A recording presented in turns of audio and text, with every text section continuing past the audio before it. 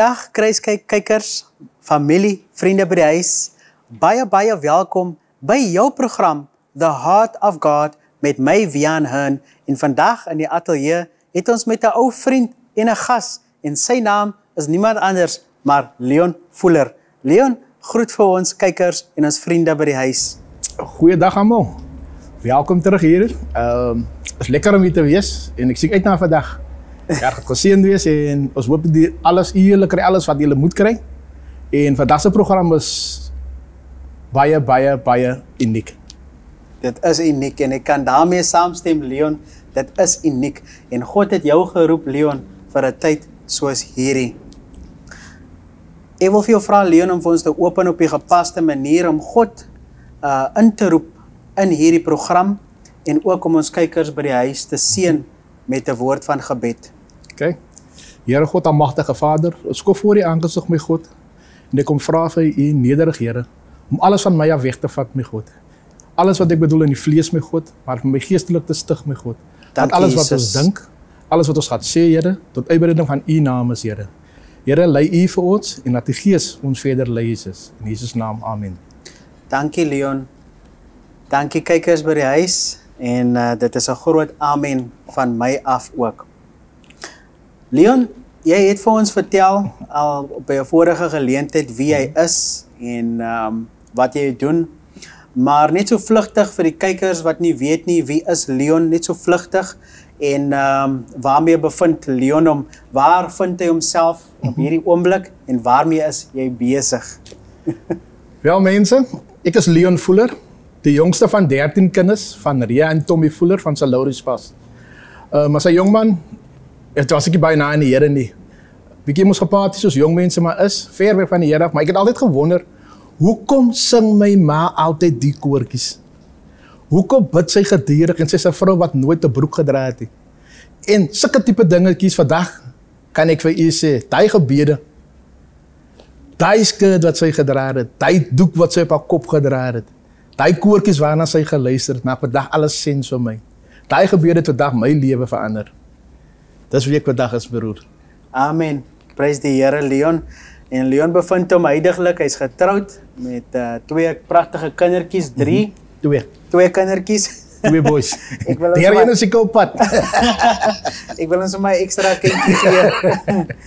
Leon, um 'n voorreg en 'n eer om vir jou hier te hê. Ek het ek en Leon het so 'n bietjie gebid en ek het uh, vir Leon gevra, Leon, wat waaroor sal ons gesels vandag? Jy weet, kykers, um hierdie program uh dit is maar net God wat dit goed geag het om vir my hier te kan plaas. Maar ek is hier om sy sy werk te doen, om sy naam te verheerlik. En daarom gaan dit nie vandag oor Via nie, maar dit gaan oor Jesus Christus Amen. wat nog steeds lewens red. En ek het vir Leon gevra op daardie noot, Leon, waaroor sal ons gesels? Leon het vir my gesê die eenvoudige woorde, maar Leon sê dit so met baie ywerigheid en hy sê dit so direk. En ek is skoons verbaas dat Leon dit vir my sê. hy vra vir my: "Wie is jy?" Wie is ek? As Leon se woorde gewees. En ek dink aan ek dink so bietjie en dit vat nog nie plek by my nie Leon, ek is eerlik met jou, dit het nie regtig op daardie oomblik 'n plek gevat by my om as 'n tema om te gesels nie, maar toe ek agterna gaan dink, maar wie is ek? Jy het baie baie vrae um en uh, dinge ontlok by my. So Leon, ek gaan vir jou die voorreg gee en die eer gee om te open vir ons kykers by die huis van uh dit is gaan immers vandag oor die wat by die huis is, Yes. die wat na ons kyk, ons kindertjies, ons ouers, ons groot mense en dit is waaroor dit gaan en dit gaan oor God se hart en wat hy met ons wil deel. Yes. Wie is jy? As jy nou stil sit en net dink aan en jy vra vir jouself, regtig, wie is ek? Dan, jy gaan baie klomp antwoorde kry. Jy gaan jou antwoord kry vir jou vleeslik en jy gaan die antwoord kry vir jou vir die, vir die geestelik. Jy moet vandag besluit wie jy is. Is jy 'n vleeslike persoon of is jy 'n geestelike persoon? Die groot verskil tussen die twee sal bepaal waar jy eendag sal wees. Ja, Leon. Vleeslik maak jou klaar. Jy gaan brand. Geestelik maak jou klaar vir die ewige lewe. So die keuse is lewe of dood. Dis waaroor die program vandag gaan. Nou, ons teksvers Genesis Genesis aan die begin. Genesis 1 vers 28. En die woord van die Here sê: Wees vrugbaar. Vermeerder en vul die aarde. Nou die woordjie wees vrugbaar. Om vrugbaar te wees, moet jy saad hê. Nou waarvan af kom u? U kom deur saad. U is gemaak deur saad. Met ander woorde, u is die saaddraer. So met ander woorde, om vrugbaar te wees, moet jy produktief kan wees. Productief nie net in die geestelike wêreld nie, maar ook in die vleeslike wêreld. Ja. Ons leef vleeslik, wat ons lewe geestelik. Ja. So wat jy in die vlees doen, in die wêreld doen, Ja. moet jy die geestelike part inbring. Indien jy dit nie kan doen nie, gaan ons vandag vir jou help en vir jou 'n wyse manier gee hoe om daai geestelike gedeelte in jou lewe in te pas. Ja. Hoe om daai rib wat die Here van jou gemaak het te gebruik om in die koninkryk van God af te beerwe. Dit is waaroor hierdie program vandag gaan. Ja. Nou die vrugbaarheid, pastoor, Ja. kom uit 'n mooi mooi mooi hoe kan ek dit stel saad wat die Here geskep het. Het die saad geskep in Genesis 2 vers 7 waar hy mens gemaak het uit stof van die aarde. Ja. Nee, en die stof van die aarde het hy gebruik en het mens gevorm en hy het geblaas. Die ruach van God het hy geblaas in jou neus en jy het lewe, lewe daarin skep. So in ander woorde, mens was gemaak Ja. om te beheer te het oor die aarde. Yes. Toe het God sy eerste gebod aan die mens gegee en die gebod was gewees Genesis 1 vers 28. Wees vrugbaar. Daai is gebod nommer 1. Ja. So die doel van hierdie gebod is God wil op daardie oomblik het God vir mens gesê: Wees vrugbaar en skape 'n gemeenskap na my image, na my gees. Mense wat vir my vrees, wat vir my Ja. loof en vir my prys. Ek dink as ek kan inkom daar Leon dat ehm um, dit vat ons terug na ons identiteit. Yes. En ek dink uh jy sal heel waarskynlik nog daar uitkom, maar dit vat ons terug om te wys dat van Genesis af dat ons identiteit lê in Christus Yes. Jesus. Want God het die wêreld geskep Yes. deur hom vir ons. En daarom uh as ons soek na ons identiteit, is dit wys om te sê soek na God. Is dit wys om te sê soek sy koninkryk. Ja. So when you find God today, you will find you Oh yes. who you are in Christ Jesus. And there's one thing as nog ietsie wat ek wil sê by dit Leon. Dit bring my ook met wat jy sê. Dit is so waar is that we need to stand for something in today's life. And we need to stand for God because our true identity lies in him. Yes. Dit lê in hom. As ons nie staan vir iets nie, sal ons val vir enigiets. So dit is so so belangrik om te kyk na die identiteit en om net aan te sluit by dit Leon. Ek myself sit hier. Ons praat oor identiteit. Ek myself het nie geweet wie ek is nie. Op 'n tyd in my lewe. Op 'n tyd was ek so rigtingloos en op 'n tyd het ek so baie vrae gevra. En ek het gevra, Here, is dit u plan regtig met my lewe? Daar moet sekerlik iets beter en iets meer wees. Want ek voel te onvervuld en ek is toe al uh, uit die skool uit, ek is toe al getroud al. En my lewe het regtig waar op 'n laat stadium in my lewe kom plek vat. Maar die Bybel leer ons Leon dat God se tyd is perfek Yes. en God se tyd is nie ons tyd nie. En God het dit goed geag vir my om vandag hier te kan uitkom wat ek nooit sou gedink het ek sou wees nie. En uh ek is geensins hier om op enigiets te roem nie, maar ek wil vir jou vandag sê toe ek Jesus vind in my lewe, toe vind ek ek. Toe vind ek vir Wian wie Wian is. En wie God sê Wian is, nie wie 'n mens sê nie. Want mense sal ons wil um twist en ons sal wil wil draai om om volgens hulle standaarde dinge te doen en volgens hulle manier dinge te doen wat nie altyd die regte manier is nie. Maar as jy God vind, vind jy jouself. Yes. Onthou dit wat ek vir jou vandag sê, want dit het in my geval en in baie ander mense se gevalle gebeur. Ja, pastoor. Soos jy nou daar sê nee. As jy alles hierdie saamvat en jy en jy wonder vir jouself miskien nou, wat is dit dat ek 'n bietjie sukkel vandag? Dat jy nie nou nie kos in jou huis het nie.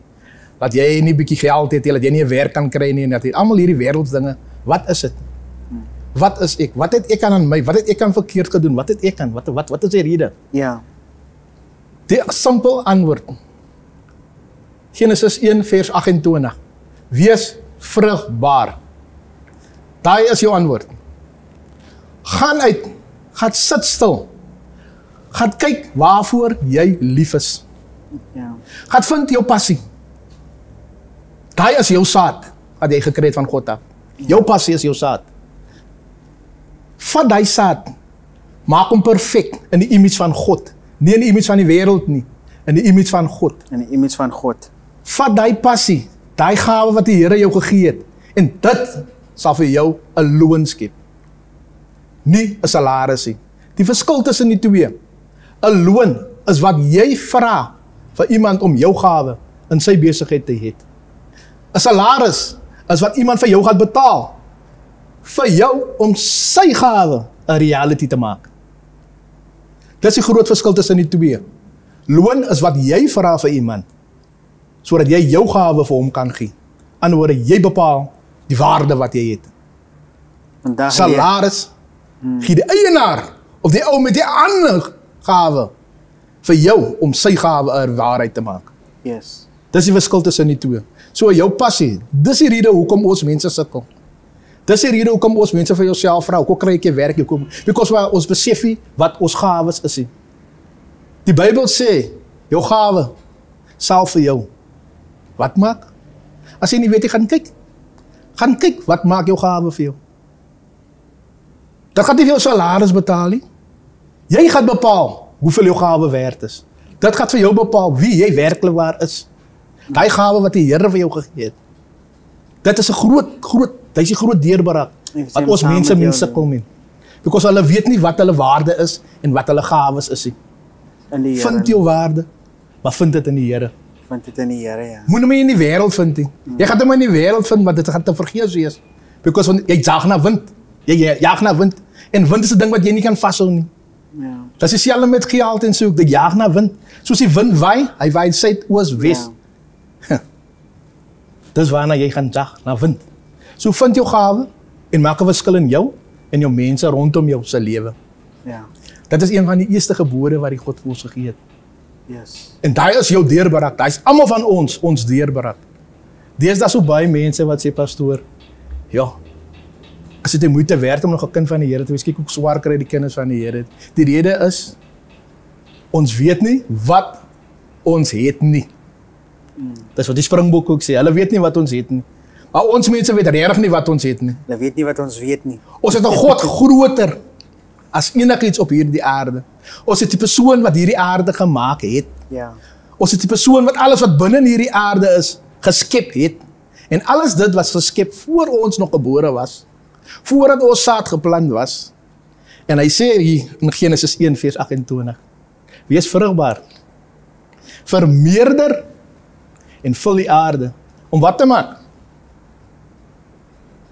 Om wat te maak? Om sy koninkryk. Om sy koninkryk, God se koninkryk te laat beheer. So, daai is ons voordeel. Ja. Daai is die- da- da- daai is jou kaart. Ja. Daai is jou kaart wat jy het. Ja. Wat ons mense staan hier in, nie. weet jy hulle bang is, hulle staan terug af voor. Ja. Staan er in. Ek daag almal uit vandag wat na hierdie program kyk. Ja. Toetsie Here man. Gee hom 'n kans. Toets hom. Sê vir hom die man het die woord gespreek. Toets hom. Dis 'n profetiese woord. Amen. Gaan toets die Here en sê vir hom: Ek gaan. Yes. Ek gaan u woord vat en ek gaan probeer. Ek gaan vrugbaar wees. Ek gaan die aarde vul en u woord sê mos dan. Ek gaan meer as 'n oorwinnaar wees in alles wat ek doen. Ja. Die gebed van 'n regverdige dra krag. Yes.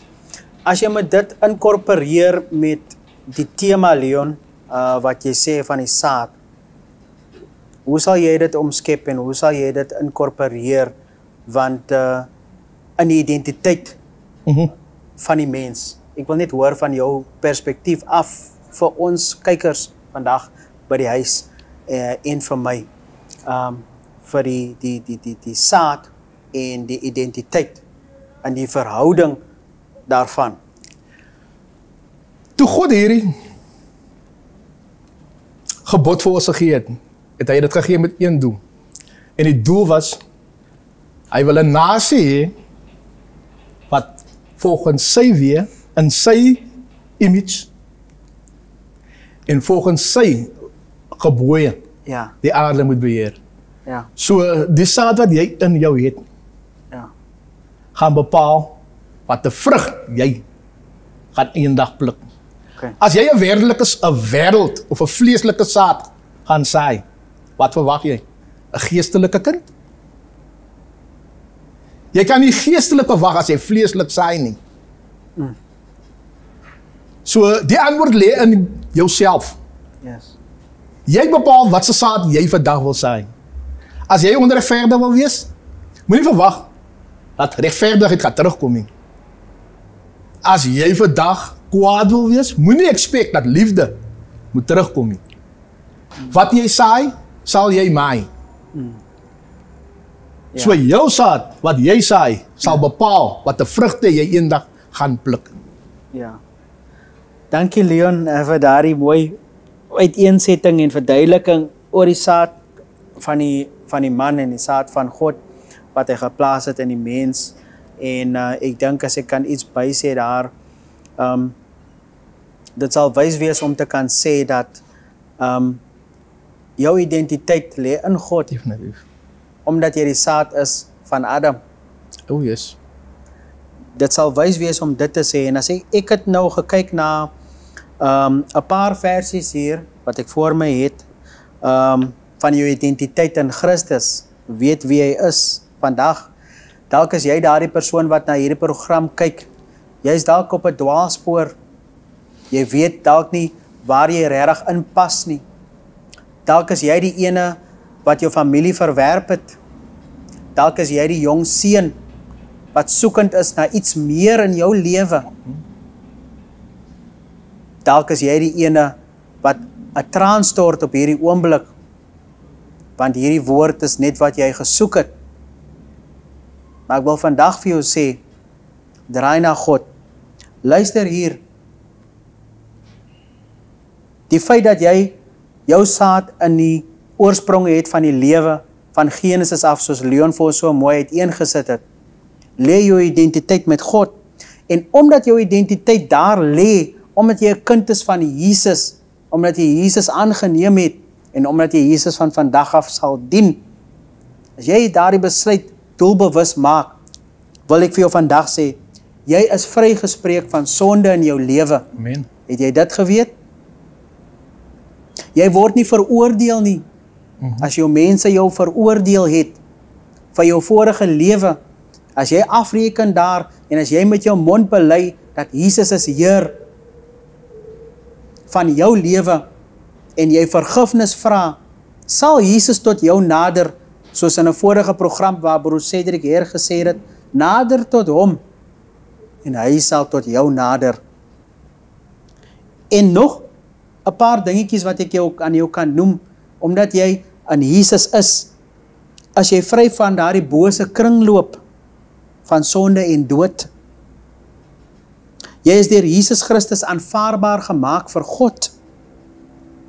Jy is nie meer nie meer net vrygespreek nie, maar jy is ook nou heilig gemaak. Ja? En jy's ook verlos. Jou liggaam sal weer lewend gemaak word as jy jou identiteit vind. En vandag praat ons hiervan want daar's so baie kinders hier buitekant, daar's so baie groot mense wat nie weet wie hulle is nie. En omdat hulle nie weet wie hulle is nie, val hulle vir enige iets hier buitekant. Jy val vir daardie vriendekring, daardie verleiding en jy soek opsoekend na meer en meer en meer.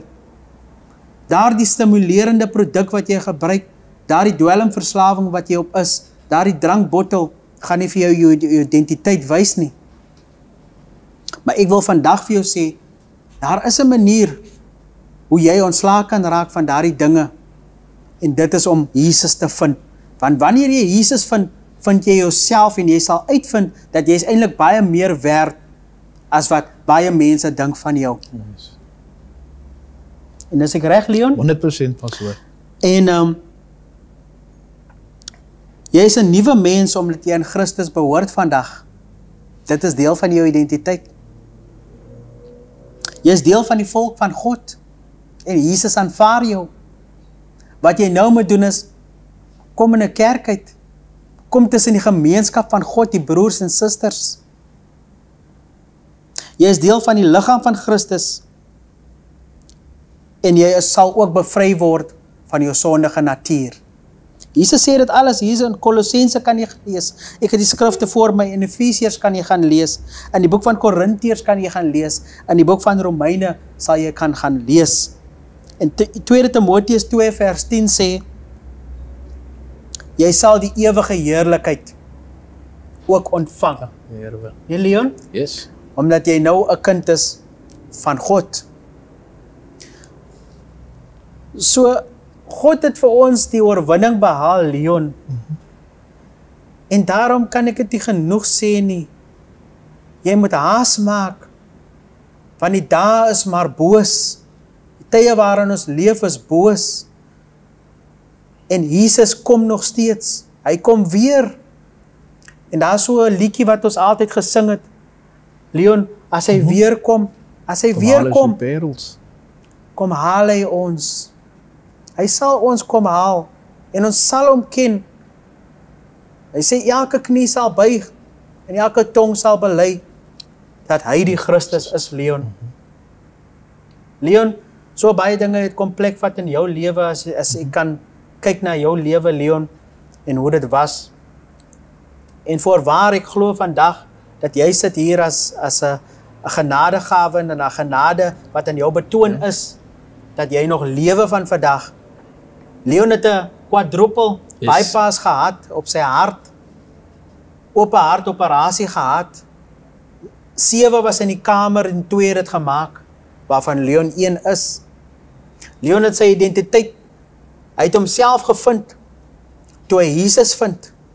En vandag kan hy met 'n 'n volle bors aan 'n mandaat staan dat Jesus is sy Heer. Leon, ek het 'n mond vol gesê. Maar ek voel net dit was op my hart om te deel met ons kykers by die huis.